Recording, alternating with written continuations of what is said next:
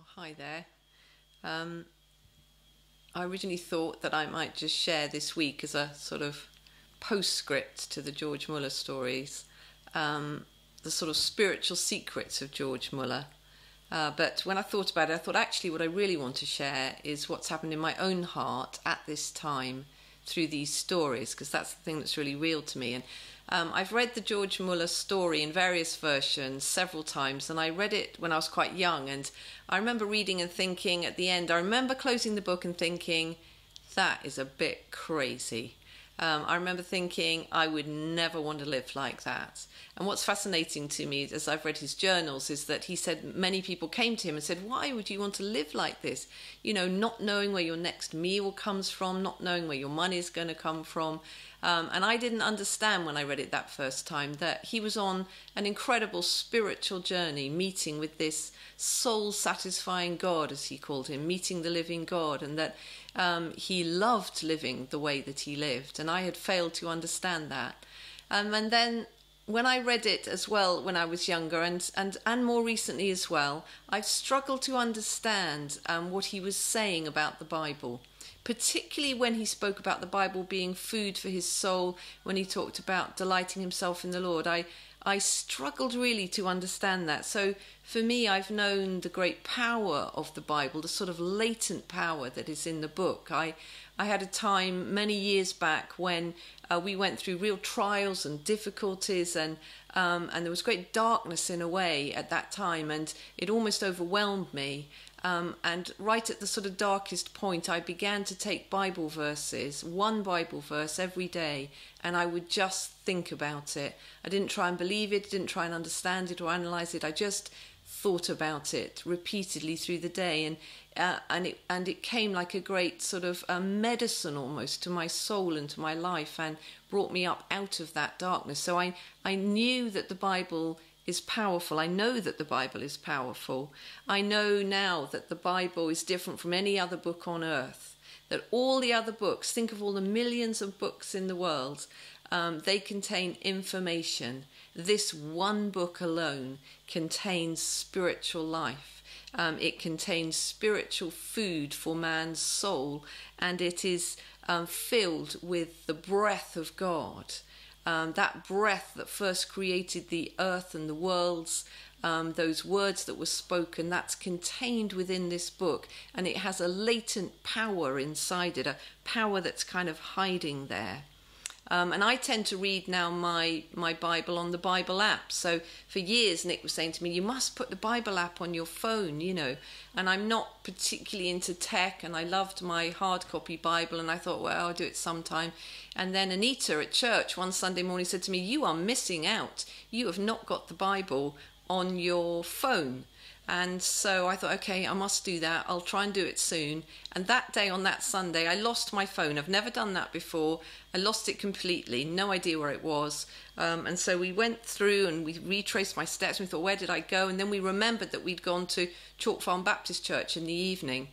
Um, and so we rang Jules, and I had prayed, Lord, if you'll find my phone for me, the first thing I'm going to do is put that Bible app on it.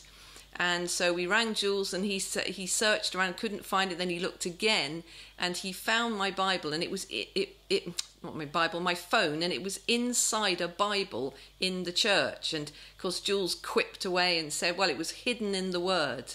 But actually, I felt God was really speaking to me that I needed to get the Bible onto my phone. And so when we got it back, the first thing that happened was we downloaded the Bible app onto my phone, and um, and that's the way I read it. You can read all sorts of different translations. You can find everything really quickly. I love this bit. It's got this fantastic page on it. I'm hoping I can hold this up and you'll be able to see it. It shows the number of people literally live downloading this Bible app. What's incredible to me, do you see that big number? 430,600 and something. Uh, sorry, that's millions, okay? Sorry, that's not thousands. So it's nearly half a billion people have downloaded just that Bible app, the Bible.com app, I think it's called, and are carrying that round in their phones. I think that's fascinating. And I think as well that our phones are so powerful in our lives. They're so wonderful for communication and everything, but they can also be so destructive They can be addictive, they can be time wasting. Um, and so it's incredible to have the Bible on that. So I have the Bible app and it sits by the BBC News app, and often I think, hmm, which, which button shall I press? But I know in my heart that to press the Bible app is where in the end I'll find spiritual life. So I was very interested in this thing of this soul food and the way he was, George Muller was reading the Bible. And during the lockdown, I began to pray, Oh God, would you help me with this? I want to read it this way. I want to find this soul food. And I tend to read the Bible. I start at the beginning, I slowly read my way through it. And then when I finish it, I start all over again. Um, but I was reading at that point, I'd got to Acts, and I was in Acts 17. And I think we're going to put the um, verse up here. Actually, it was two verses. Um, and it was as if I pressed pause. It was as if suddenly something caught my attention and I stopped and I read these two verses and they became something so wonderful to me. I've driven Nick nearly crazy talking about them uh, because they've been like food for my soul. So this is what it said it says, God, who made the world and everything in it, and suddenly it seemed extraordinary that he had made the world and everything in it. And at that time, I was walking uh, to work, and it was right at the sort of deepest part of the lockdown, and there were so few people outside. And I had my NHS letter which said this person's allowed to go around Islington. And I would be walking down Tufnell Park Road, and I could hear my footsteps. And I began to do what I suppose Muller had learnt to do. I began to meditate on these verses. And as I was walking down the road, I thought, God, who made the world um, and everything in it, everything I'm looking at, even my, my seeing eyes and my beating heart and my hearing ears and all this wonderful stuff around me. God has made this. And it was spring, and those were beautiful, beautiful summer days, and it seemed very glorious and very beautiful. Then it said, Who is, who is the Lord, who is the master of heaven and earth? It struck me that he is right over all of this, fully in charge, the master of heaven and earth. And he cannot live, this verse says, in temples made by human hands. It seemed wonderful to me that God, who fills the heaven and the heaven of heavens, of course he cannot live in temples made with hands. And then it says, How could we give him anything? How could we give him anything when he's in need of nothing? Because he himself has given to everyone, every single person, all seven billion people of us, He has given to each one of us life. He gave you your life. He gave me my life, breath, this air that we're breathing, and everything else. Everything else.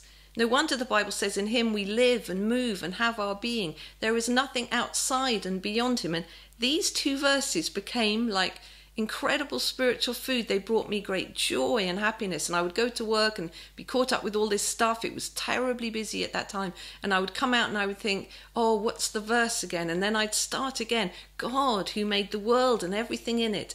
And it seemed so wonderful. And it was as if these these verses magnified God and brought faith to my heart, and they became like a living thing to me. And that to me was the first time, really, that something had happened like that um, in, in, in, in, a, in such a direct way related to a Bible verse.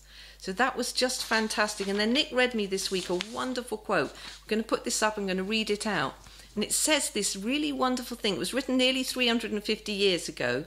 It says this There is as much difference between a truth remembered and a truth meditated as between a cordial in the glass and a cordial drunk down. Okay, so cordial is juice or squash or something. It's a drink in a glass. And what he's saying is that when we just remember a verse, it's like being handed a glass of, of juice. But when we start to think about it and um, keep going over it and chew it over in our minds and look at all the different parts of it, it can become like a drink. And I thought this for flame. So if you're in flame, maybe give us a wave. So if you're in flame, can you give us a wave? Brilliant. I'm hoping you're waving. Um, so you learnt uh, a Bible verse, Psalm 121, verse 2. So if I say to you, um, Where does my help come from? you hopefully will reply, My help comes from the Lord who made heaven and earth. But if you just remember that and don't keep thinking about it and bring it into your mind and maybe think about it last thing at night or think about it when you need help from God, then it's just like having a glass of juice but not drinking it. But if you're willing to think about it and remember it and go over it in your heart and say, Oh, Jesus, would you show me what this means? Then it will become a wonderful living thing to you and it will be like having a drink rather than just holding one. Thought that was such a great illustration. So, finally, Psalm 1, which Tony and Nick um, are going to share a little bit about this morning. When Nick shared that, it said, on, on, in his word, on this word, these words of God, I will meditate. This man meditates day and night. And I was thrilled when I saw that word night. I thought, of course, at night, when we wake up and sometimes we can't get back to sleep, um, as well as praying, which is something we can do, we can also meditate. We can churn over in our mind. We can think about this word, and it's powerful for us. Uh, and I think that's something Tony and Nick are going to talk about later on this morning.